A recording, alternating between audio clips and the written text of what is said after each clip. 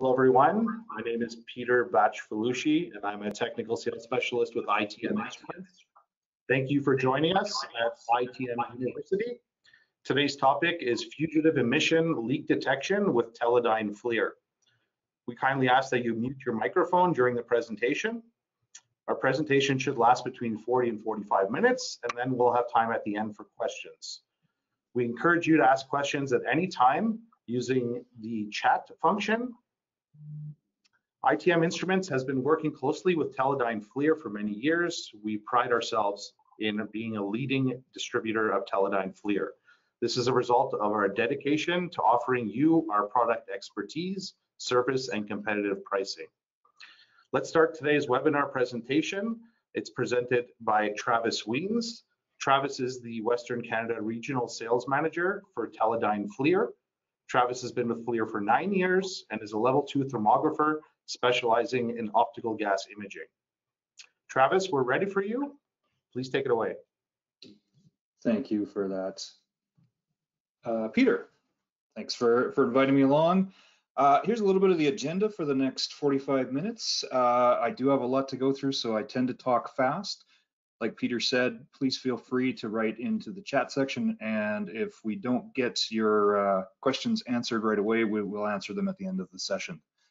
So basically, I want to talk a little bit about the history of FLIR. Uh, as Peter uh, mentioned, we've been working with ITM for several years. They're one of our biggest partners uh, globally, not just in Canada. And we're uh, very happy to uh, help help them out and help educate their customers. For those who don't know, FLIR was recently purchased out by Teledyne, and we are now known as Teledyne FLIR. Hence, you'll see this on here. Uh, we're still in the transition, so some slides will say FLIR, some slides will say Teledyne FLIR, but at the end of the day, uh, we all report to uh, to Teledyne. Um, and this is sort of a little bit about that transition. The way we fit into Teledyne's uh, overview for the entire company is uh, we fit in very nicely in a niche area that they were not uh, experts in, and that's infrared imaging. So that's where our background is. It's literally in our name. Forward-looking infrared is what FLIR stands for. So a little bit about FLIR Canada. We've been in, in Canada since 1965.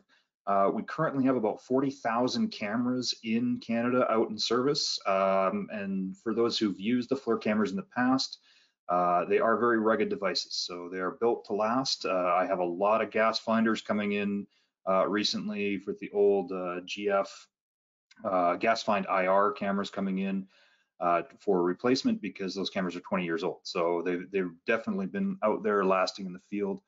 One testament to our group here in Canada is we have two full-time technicians. We're the only infrared company that has uh, in-house technicians that can work on gas finding equipment. Uh, anybody else has to take their equipment outside of the country.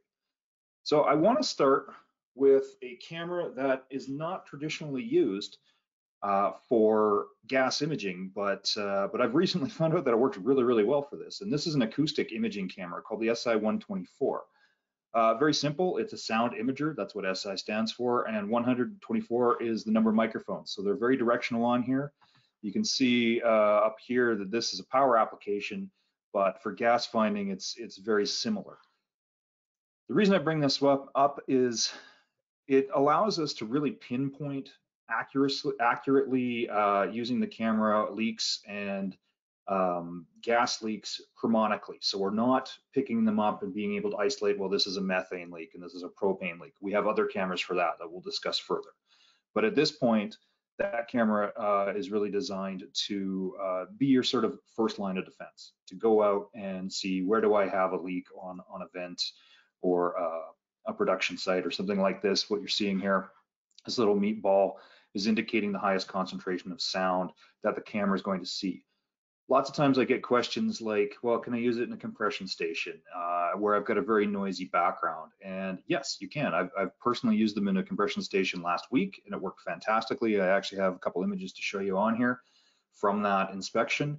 Um, I've used these cameras on the belly of an F-18 fighter jet looking at pneumatic valves and being able to pick them up acoustically from the belly with the jet on. So they're very, very directional. Um, this is a little bit more for predictive maintenance, but the idea behind this is to show that we're able to pick up things ultrasonically that we can pick up a lot earlier than we can thermally. So that's why I say it's sort of the first line of defense. You know, so where do we look for air leaks? Um, in pneumatic systems, you can look at all kinds of things, but especially, you know, the systems with gas isn't that different. We're looking at tubing and hitting and uh, unions and, and pipe joints and things like that. So there's a lot of places to inspect using the cameras. Uh, here's a perfect example. Here's a guy using one out in the field. Uh, this was a propane test that we did uh, with a customer in, uh, in Montreal uh, just a few weeks ago. And we were able to open up the valve on there and see if we had a leak coming out. And as you can see, the, the meatball really kind of spoiled right into uh, finding that spot. And that's what we're finding with this camera is the accuracy uh, with the SI-124 is very, very high compared to other acoustic imagers out in the field. Um, you know, it, it's not necessarily just gas leaks. You can use it for compressed air. You can use it for steam systems, for natural gas.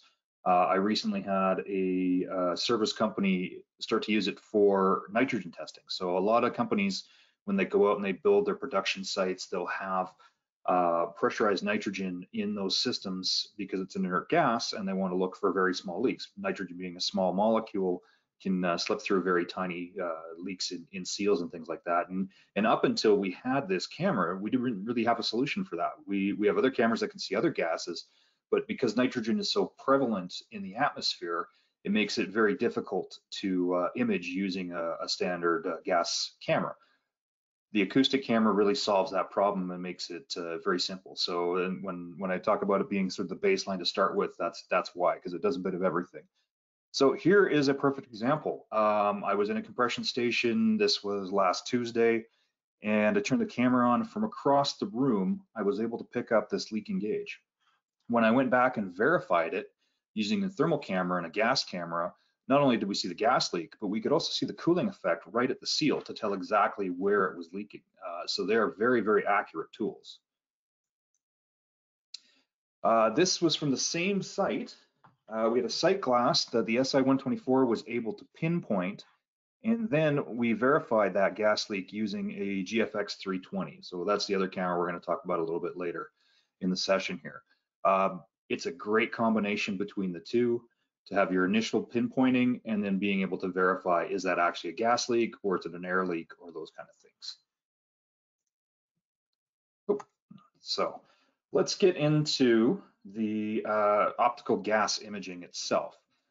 So this technology is field tested, it's proven, this is what the regulators are using. So whether you're dealing with the AER in Alberta, the BC Oil and Gas Commission, the Saskatchewan um, Ministry of the Economy all use FLIR thermal imaging technology for optical gas imaging for uh, leak mitigation.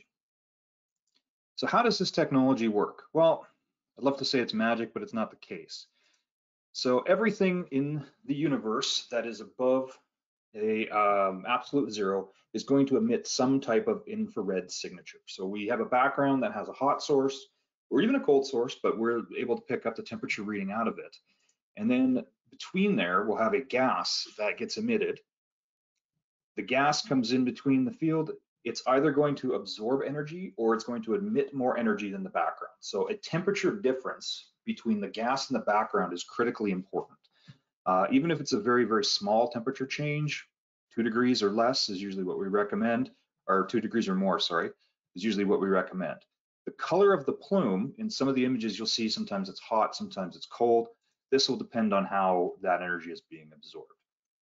So in the electromagnetic spectrum, infrared is a lot larger than the visible realm. And because of that, we can't cover it with a single camera. We have multiple cameras that cover the entire spectrum.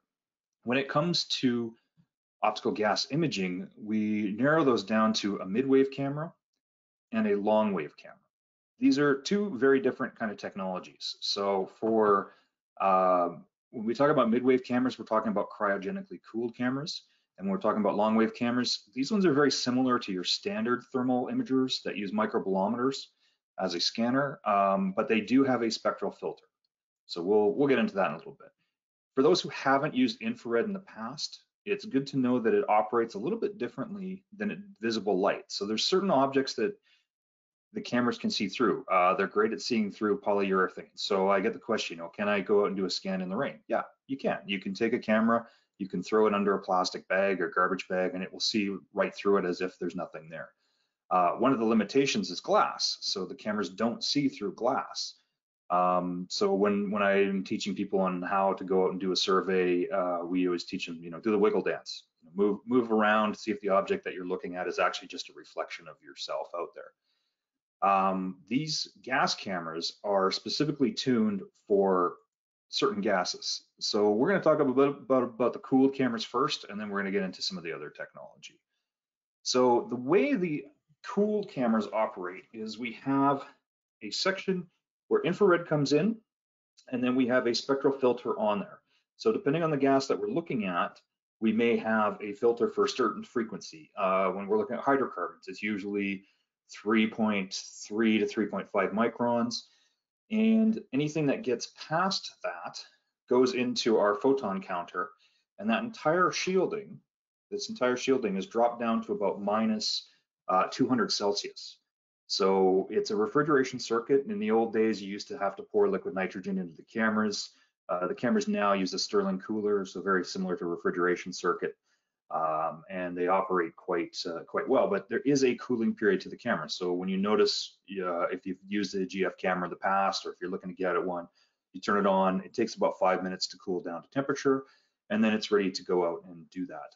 And the reason why we have the spectral filter inside the housing is that increases our sensitivity. So we can see much smaller elements, uh, much smaller gas leaks than we would be able to see using a, a warm filter. So let's talk about some of the limits. Uh, these are some of the initial tests that we did. You can see by the dates, these are back in 2005. Uh, so in this case, we're looking at butane and ethanol. Uh, butane in this case is showing us a absorptive plume. So that's what we refer to these black plumes. You'll notice that a lot of the imagery is done in black and white. Uh, so there is color that you can use as well, and sometimes that's an advantage. But generally, we use uh, black and white because you've got more rods than cones in your eyes, so you can see higher contrast differences in black and white than we can in color. On the ethanol side here, uh, we've got a emissive plume. So this means that the gas is actually emitting more energy than the background. Uh, these were the original laboratory tests, so we're looking at one meter away with zero wind speed and being able to uh, start our analysis that way. Um, so what are some of the things that can uh, that can uh, mitigate your field testing are the things that we kind of eliminated in the lab. So things like wind speed, knowing what your leak rate is. Um, we did a lot of, of tests, uh, not just FLIR, but also third parties have done tests using these cameras out and uh, really kind of mapping down to see, okay, what's what's the smallest limit of, of a particular gas that we can view using that. And these are all published kind of things. Um, if we were all in a room together, this is the kind of test I would take and, and show you how these cameras actually operate. So this is a just a butane Bic lighter, uh, basically about three grams per hour. And as long as the uh, the camera is able to pick it up, uh, we've got the spectral filter in order to see that gas open it up and that's great because we can see that really fine. No, so how do these compare to say a traditional method 21 where you're using a sniffer to go out and do these kind of detections? Well, if you have that sniffer directly in the stream, you can pick it up quite easily. But if you move that sniffer just even a few millimeters, now all of a sudden you're completely missing that stream. You can have a completely different reading. So one of the things that is a big advantage when it comes to optical gas imaging cameras is that you're able to visualize these things from a big distance and capture a lot more data at a single time. So in this case, if I move that camera 20 feet away, I can still see that there's a leak um, from that distance using those cameras. So why do we have multiple cameras? Uh, we talked about the absorption, uh, uh, absorption of the cameras and being spectrally filtered. Well, different gases have different absorption within infrared, and that allows us to uh, pick them up. But we have to filter them for specific gases. So in this case here, we're looking at one of the entry, uh, one of the hydrocarbon cameras filtered these yellow things, the, the spectral filters on here. Uh, I believe this is our CO2 camera. Uh, so this would be our GF346. Uh, we have a carbon dioxide and a carbon monoxide camera, depending on the applications. Uh, as we talked about earlier with uh, people uh, pressurizing their systems using nitrogen, some people like to use inert gases like CO2. Uh, I've got a few projects I'm working on right now, especially um, hydro hydro facilities like to pressurize using CO2 because it's easy to, uh, it's an inert gas, they won't have any issues and they like to monitor it. Uh, so in this case, we've got another camera. This would be our GF uh, 304, which is our um, uh, CFC camera. And in this case, it's seeing uh, R22 refrigerant. So if you've got large facilities, uh, ammonia plants or, or uh, even arenas can, can be using that kind of refrigerant or large buildings too, large commercial buildings.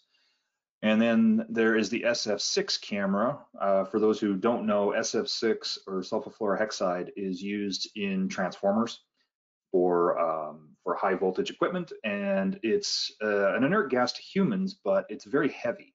So what happens when they leak is this gas will come down and it kills off vegetation around it. So it's not necessarily dangerous to us, but it's environmentally damaging. So uh, the responsible uh, energy producers out there want to monitor and uh, make sure that they're uh, mitigating how much they're leaking that that information.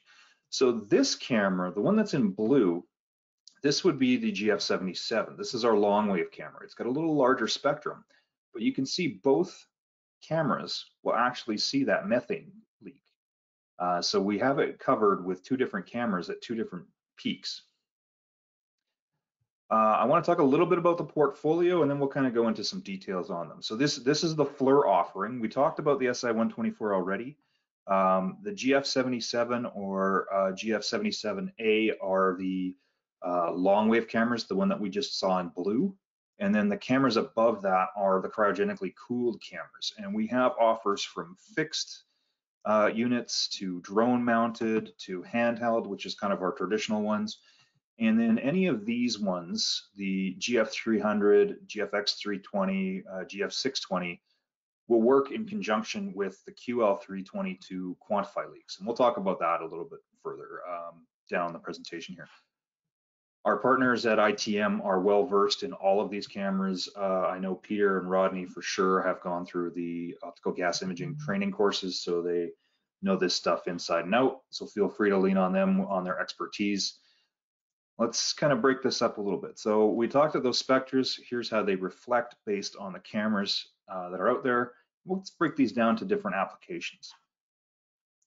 So the hydrocarbon camera is here. The 30, uh, 343 is the CO2 camera, then the CO camera, the uh, uh, refrigerant camera, and then the SF6. So there is some overlap with the uh, microbolometer cameras as well depending on what lens is on it, you'll see that there's a low range and a high range version of the camera.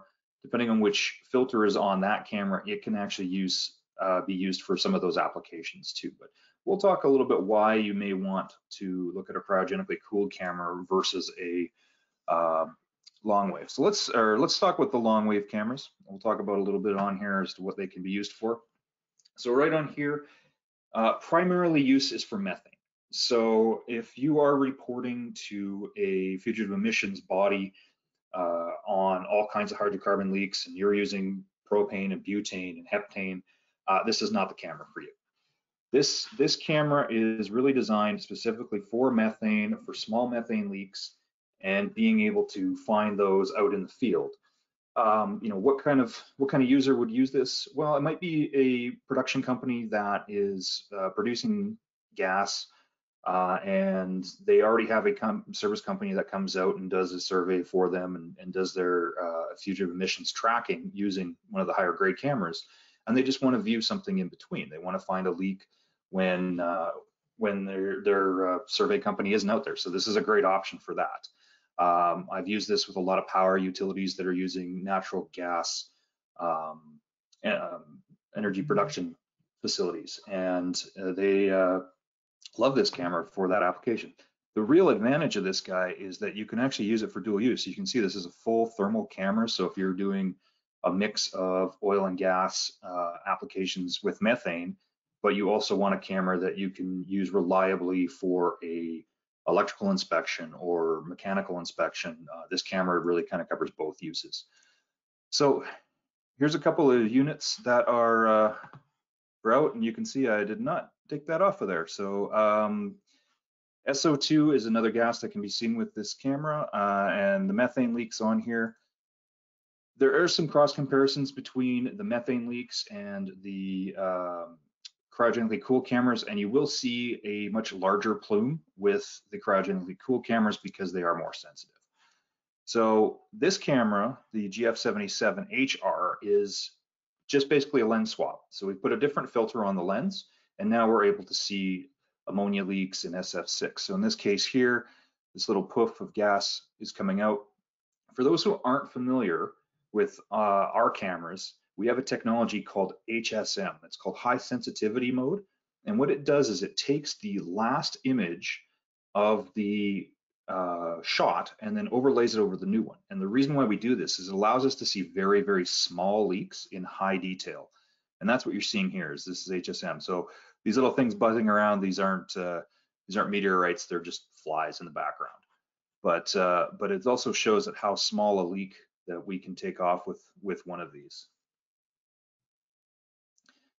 And then here's some shots with that camera, uh, another SF6 leak and an ammonia leak. Uh, for the uh, those are using ammonia gas, uh, this is very dangerous. Uh, you know, there's there's been lots of cases, especially here in Alberta, where where people have been killed by uh, ammonia gas. So being able to track that at transfer stations or between mounting on on vehicles uh, trailers and tractors and things like that, uh, it's very important to be able to, to see that gas. And that's what these cameras are really about is, is, is not only seeing the lost product, but also saving people's lives using, using these cameras.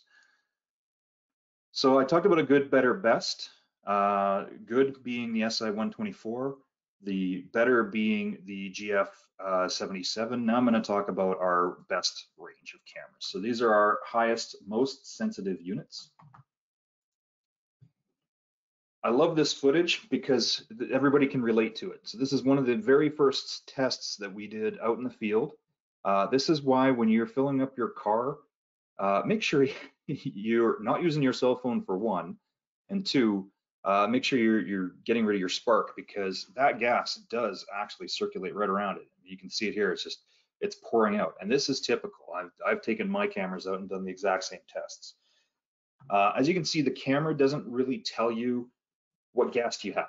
It's not a spectral analyzer. It's not going to say, I've got a methane leak, I've got a propane leak. What it's going to do is give you a very binary response to that gas.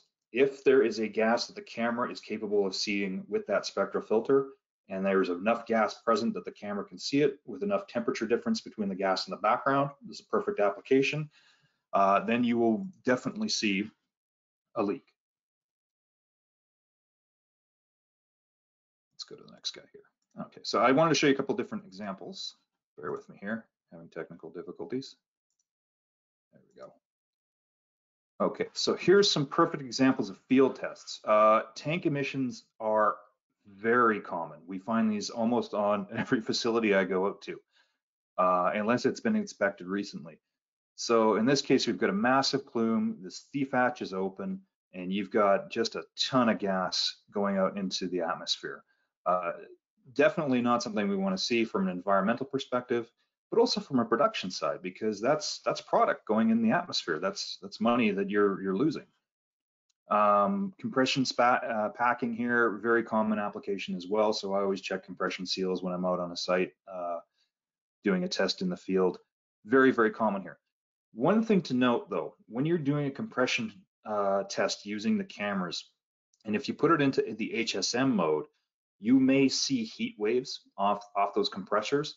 Don't be fooled to think that that's actually a gas leak. And that's one of the things that we teach in our optical gas imaging course is how to discern the difference between the two. Down here, we've got a pipe leak uh, underground or underwater. Uh, this is the HSM mode. You can see where this gas is going. So somebody must have uh, done something wrong here and then they've got a pipe leak. It could, could have been frozen. I don't know. I didn't take the image. Uh, the other picture here, this is taken with a GF. I'm just going to restart this guy. So this image here is taken from a helicopter with a GF320. There's a leak right there. So this is an underground pipeline. We can kind of see this by two ways. Um, it flies back here, we'll look at that again. Uh, there's a couple ways that we can tell what's going on here. One, we've got a very cold concentration out of there. Whenever you've got a leak uh, from high pressure to low pressure, you're going to have a cooling effect. But here's the plume. This is the massiveness of that, that plume coming out of here. We can see all that gas going on. Um, if you guys are interested in seeing more, uh, would uh, go to uh, YouTube and look up the Aliso Canyon gas leak. This is one that was in California about five, six years ago. And uh, it's uh, a massive leak that was all caught by our cameras as well. So let's go to the next one. So why do we have these different cameras? Well, for different applications, right? So this is a uh, CO2 detection camera. In this case, we're uh, on a generator site here, and we want to see what's going on with the leaks. So the camera's due to a visual shot, and you can switch it into uh, a mode that gives you the gas, and then in this case, uh, also the HSM. So very high sensitivity, and we can see the gas coming out through there. So, um, you know, what are some kind of other applications for CO2 leaks? Um, we've actually used them on outpatients. So people who've had uh, heart surgery and things like that to make sure that they're breathing properly. Uh, I know Peter's had some experience with uh, with cattle, looking at uh, snorting cows to see how they uh, are breathing properly. So there's all kinds of different applications for out there. Uh, in this case, this is a hydrogen leak, and we're able to see hydrogen gas coming out of there. here's a pretty common site is going to be a, a union that's not sealed properly you can actually see this gentleman here snorting out. Whenever he exhales, the camera's picking it up. So not the best example to be in the line of fire, but uh, if I rewind that, you can see that there is actually a leak coming out of this valve at the same time. And that's where that HSM technology comes in very handy. It's It, it really kind of isolates those small, tiny leaks and gives you a lot more detail as to what you would normally be able to see, even, even in the thermal realm. Uh, certainly more than you would, would see anything visually. In this case, this is a carbon monoxide camera, so perfect for uh, large uh, facilities that are, are, producing that gas or, or using exhaust fumes. Uh, in this case, it looks like you've got a, an overhead pipe and there's just a, a, plume of this gas coming out. So carbon monoxide, as we all know, is very, very dangerous gas to humans, um, can put you to sleep and, and, and, even kill you in some cases. So uh, it's definitely something that we want to monitor using the cameras. Um, especially if there's anything going off and you, and you need to really kind of isolate where is that gas coming from. Uh, a couple other examples here. So this looks like it's a it's a vent. It's venting out CO2 gas. Uh, this is a blast furnace that apparently has a leak as well. So lots of different applications on where you can use these things. So they goggle the valve, or they get the valve up there. We can actually see it here without the HSM mode. That's a pretty massive plume of carbon monoxide gas definitely something that wants to be avoided or will need to be repaired very, very quickly. GF304, refrigerant gases. Um, this camera is used for a lot in like food production and storage and, and petrochemicals, uh, automotive and air conditioning kind of applications. So it picks up a ton of different uh, refrigerants. A lot of the the uh, sorry, I lost my train of thought here a lot of the uh, hydrocarbons, or not hydrocarbons, the fluorocarbons have a very similar type of uh, thermal signature, so we're able to pick those up using the cameras. So R22, for anybody who's used to work in refrigeration like I did, that was you know pretty common in a household. Uh, about 20 years ago, we switched to R134A, uh, which is pretty common in larger buildings, so chillers and, and uh, those types of facilities and then the SF6 ammonia camera. So hopefully what you're, what, what I'm trying to get across here, and, and hopefully you're realizing is that there is a lot more sensitivity the higher you get up in the food chain. So the SI-124 is a good pinpointer. It'll say, here's my leak. And then if I come in with a GF77, I can say, yep, that's a methane leak or an SF6 leak but I get into these higher grade cameras and I put them in the HSM mode and I can really pick up very, very tiny disturbances and, and, small trace leaks coming out of these pieces of equipment. And that's that's really kind of why you go for a higher grade camera is to pick up the smaller leaks. Another perfect example here. We've actually had a facility here in uh, in Calgary where we went out and uh, took this shot using this camera. And when we went up and did a physical inspection on there, there was actually a circle marked right on it that said leak. So they knew that they had an issue, it just hadn't been repaired. Uh, and again, ammonia gas here. So a lot more on the sensitivity and the plume that we're able to pick out. So let's look at some comparisons between an uncooled camera and a cooled camera. Basically, there's about two or three different units. Um, the biggest thing comes down to the sensitivity. So a cryogenically cooled camera uh, will give you a smaller millikelvin rate. Millikelvin are how uh, thermal sensors are uh, compared to one each other. So whether it's our camera or one of our competitors' units out there, they all have a millikelvin rate. And the smaller the number, the more sensitive it is. And that really comes down to this next line is how small of a gas leak can we see using those cameras?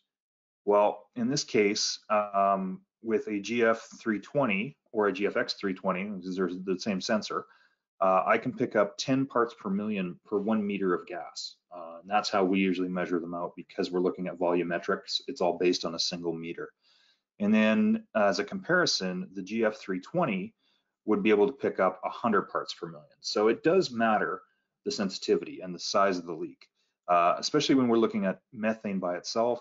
The 320 by 240 detector is able to pick up a 0.6 grams per hour leak, whereas a long wave camera would pick up 2.7 grams per hour.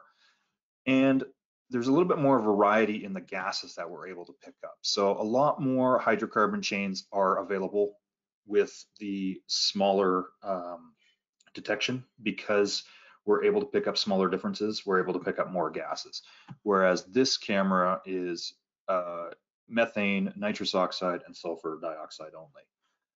And quantification. So if you are looking to add a quantification tool where you need to see, okay, well, how large is that mass leak?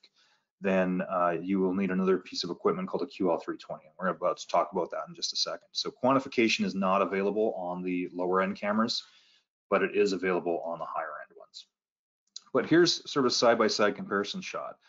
Um, so we've got a cool camera and we've got a uncool camera using a different color palette and you can see the leaks are very similar. So these are, you know, it's not a far, not a far cry from the difference, as long as the gas you're looking at is able to be picked up by that camera. Uh, this is the one I was talking about earlier. So the uncooled camera and the, uh, sorry, the uncooled cameras here and the cooled is over here. The biggest difference here is the amount of other gases you're able to pick up. So in the case of the GF77, we're looking at strictly methane in the case of this is probably a GF320, uh, that camera can see a lot more hydrocarbons. So uh, it may also be all methane and it's just picking up more of it because it's more sensitive, but more than likely there's there's a combination of other gases built into there. Uh, here's a perfect example of the uh, cooled camera using HSM mode and then the uncooled camera using a normal mode. So you can see the plume is a lot more accentuated by the HSM mode. In this one, we can still really visualize the leak quite easily. So it, it does, it is a useful tool. You know, where do you use these things? Well, we can use it on the production side. We can use it on uh, the transfer side, getting the getting the units out, even down to local businesses. I've even had gas stations phone me and ask me about being able to trace uh, using the cameras. So there really isn't anywhere that you can't use these cameras. I do recommend though, if you're looking on the production uh, processing plant side, going a little bit more sensitive. And I would probably go with the ATEX rated camera. So that would be the GFX 320. Uh, as Peter and I uh, have found out over the last couple years, that is probably the most common camera that that uh, the market is uh, looking at right now, just because it's easy to use out in the field. So I'm not sure how I can shut that volume down but hopefully it's not too loud. Uh, same kind of thing here. So this is a, a GF77 and a GF320 out in the field, cross comparison between the two. Um, on the GF77, it will tell you what lens is on that camera because you can swap those lenses out. On the GF uh, 320 cameras, it doesn't because that spectral filter is built into the inside of the camera. So it's not going to be changed out in the field. Let's talk a little bit about quantitative imaging. I think we're getting pretty close on time here. Um, so this is an additive tool that is designed to work with the GF320, GFX320, and GF620 cameras. So any of the cryogenically cooled hydrocarbon cameras. What does it do? Well, essentially, we throw a little bit of data into the camera and we, we tell it what's the temperature difference, what gas am I looking at, how far away is the camera from the, uh, the target of interest. In this case, we're looking at this leaking valve. And what happens is this device will calculate based on the atomic weight of the gas, how much gas is flowing from inside of the circle to outside of the circle very quickly. So this will do this in, in under, under a minute. And it will give you a flow rate. So it will give you either grams per hour or a ppm, depending on how you've got the camera set up. Um, and that helps for your decision making. I, I look at this as a decision making tool camera uh, enhancement. You know, do I need to do a complete shutdown because this is a large leak and we need to repair it right away? Uh, or is this something that, that, can wait till the next shutdown because it's a trace leak and it only works when this equipment is under pressure? Uh, of course, consult your regulators because they're changing the rules all the time. Uh, the new version of the ECCC that's coming out is talking about a 30-day uh, window that if you find a leak, you have to repair it within 30 days. So you know, what do you need to go out there and be successful with this device? You can see that this was the original setup. So before we had the GFX camera, uh, we had the GF320, you could hardwire it onto this device. You don't have to do that. You can actually take the cameras into the field and do the initial tests, find your gas leaks, and then do your quantification after the fact. So, you know, make sure you guys are safe when you're out there. Don't be out there using a, um, a, a power connected device in a potentially explosive environment. We want to make sure you guys are safe. Um, so what we recommend having out there is, is, a way to tell what the background temperature is, the wind speed, um, tape measure or laser distance finder to, to find out how far away you are from that target. And then uh, that's the kind of information that gets inputted. And then once we've got that in there, um, like I said, you just run the equipment and it will give you your quantification out. And that's kind of it in a basic nutshell. Uh, I think we're a little bit early. I'm about eight minutes. Um, so let's open up the questions. Yeah, thanks very much, Travis. That was excellent. Um, we, we do have a question here. It's from uh, Steve. Uh, he says, are any of the cameras useful to determine the highest concentration of stagnant H2 hydrogen in an enclosed space as opposed to a leak? In a closed space, that's pretty difficult because you generally need to have a large temperature difference between the gas and the background. And hydrogen being such a small element, um, if it's the same temperature as the background because it's a closed environment, um, that could be difficult to trace out for sure. Now, I'm not saying it's not possible. The, the best chance for you to be able to find those kind of leaks would be um, when the equipment's been off for a while, you first initially start it up, uh, things start to get under pressure, and then you're you're going to be able to see those leaks probably the, the, the best way possible. Does that answer the question? Yes, I think so. But hydrogen, did, did any of the cameras pick up hydrogen? Or uh, well, we did see a hydrogen leak on one of the cameras. I believe it was the GF343. Um, yeah. Generally, with hydrogen, you might be better off using the SI124, um, to be perfectly honest, because you're going to be able to pick that up acoustically earlier. And especially in that environment where everything is stagnant temperature wise, everything's kind of mitigated. The back wall and the gas are the same temperature. So you may have a very difficult time trying to find that. Whereas the acoustic camera doesn't require any temperature at all. It will be able to find the leaks based on the harmonics of that gas coming out of whatever seal or packing that's that's damaged. Mm -hmm. Okay. Um, another Darren asks that he asks about the accuracy of the QL320. Uh, he's had some feedback that it's not uh, super super accurate. Do you do you have anything on that specification, or do you have any feedback? I do. I do. So uh, it's not just me saying it. We've had third party testing through uh, the um, Environmental Protection Agency in the United States has done some field studies with it. The Concawe group in Europe have done field studies with it. And also there is a published study from the Saskatchewan Research Council from a couple years ago. All three studies basically found that using a QL320 with a known leak, uh, when the information is entered properly, will give a variance of plus or minus 20%, which is well within industry norms. Um, if you look at traditional method 21, um, using a sniffer out in the field, like we saw in that image where we traced the sniffer with the lighter, um, those studies that have been done side by side or blind studies have shown a variance of minus 20 to plus 600 depending on what uh, high flow sampler or or unit they've been using out there. So yeah there has been some um, there has been some concern about the accuracy out in the industry for years um, not so much from us obviously you know we uh, we partnered up with providence photonics. These these were the gentlemen that built the algorithm we liked how much their technology and how accurate it was to the point where we actually purchased their, their company. Um, and then they're now a FLIR product. Now, that being said, um, you know, the, the best, best practice would probably be use both if you're out there. Um, but the, the accuracy of the QL320 continues to get better as the technology gets better, as the algorithm gets better. Uh, and most recently, uh, south south of the border in Mexico, uh, they have decided that the QL320 is the instrument to be used for looking at uh, mass flow leaks. So their their government has uh, has mandated that the QL320 is the tool to be used down there uh, for those type of applications. And if it wasn't, uh, if the accuracy wasn't good, they wouldn't be doing that. And I think some of it could also be user error, like you said. Um, in Q mode on the camera, you have to input the distance you are from the leak, the wind speed, uh, how much pressure the system is under, and yeah. the ambient temperature. There's there's definitely some variances for that. Yeah, I mean that brings up a good point, Peter.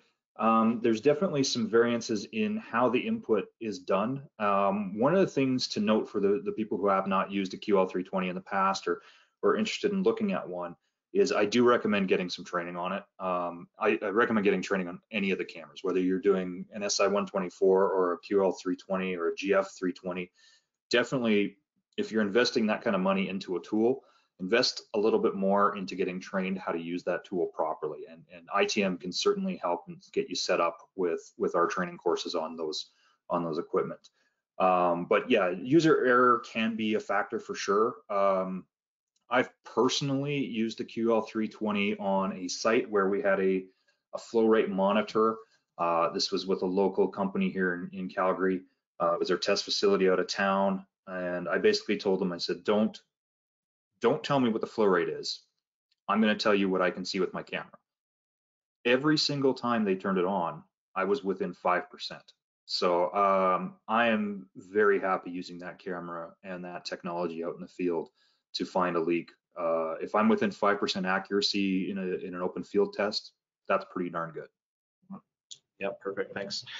I think uh, that's it for the questions today. Um, if anyone has any other questions, feel free to email us. On behalf of ITM Instruments University, we want to thank you for attending our webinar today. I hope you found it informative and helpful. ITM is available to assist you in any way. Just visit us on itm.com for anything you need. Yeah, so at the end of the webinar, we're going to send out a survey. Please answer it honestly, and uh, it'll help us make webinars better for next time. And in the next few months and weeks, we're going to be having more webinars. You can look at the webinar section on our website to find out what those topics are going to be. And uh, finally, as a thank you, one person that attended today will receive $100 gift card to itm.com. So again, thanks very much. And uh, yeah, we'll see you next time.